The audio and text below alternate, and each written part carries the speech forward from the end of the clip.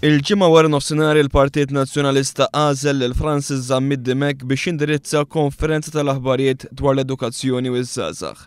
Zammit Dimech tkellem fost l-oħrajn dwar il-weda tat-tablets, iżda meta mistoqsi minn One News biex jagħti d-dettalji ta' kif se tkun implimentata din il-wegħda u meta l-istudenti kollha se jingħataw it-tablet, ma kienx jaf iwieġeb. Liema sena se jkunu qegħdin jitqassmu t-tablets u sa liema sena t-tablets se jkunu stqassmu kollha lill-istudenti u lill-għalliema tagħhom. Tweġiba hi li dan huwa l-programm elettorali tagħna, naturalment mal-Partit Nazzjonalista fil-Gvern, u allura jitwettaq fuq il-medda ta' dawn il-ħames snin.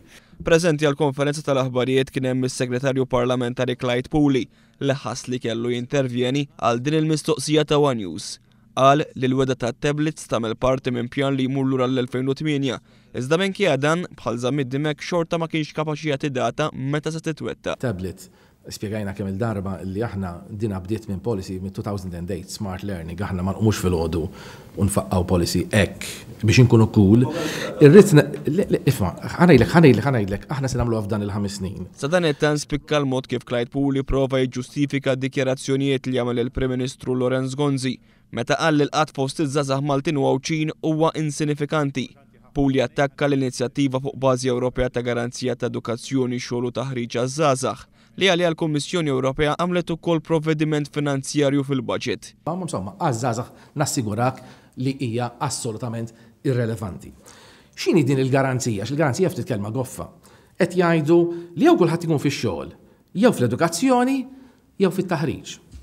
Clyde Puli saħansitra esprima d-dubju dwar iċ-ċifri tal-Labour Force Survey, ippubblikat mill-Uffiċċju Nazzjonali tal-Istatistika, li juri li llum hemm 4,600 żagħżugħ u żagħżugħa f'Malta u Għawdex ifittxu x-xogħol. Imma ma qalx li ħdejn dik il-figura hemm asterisk u l-asterisk jgħid li s-sample jista' jkun mhux tajjeb, jista' jkun jgħid underrepresented, dik il-kelma li uża, dik konvenjentament ma nsemmuhiex.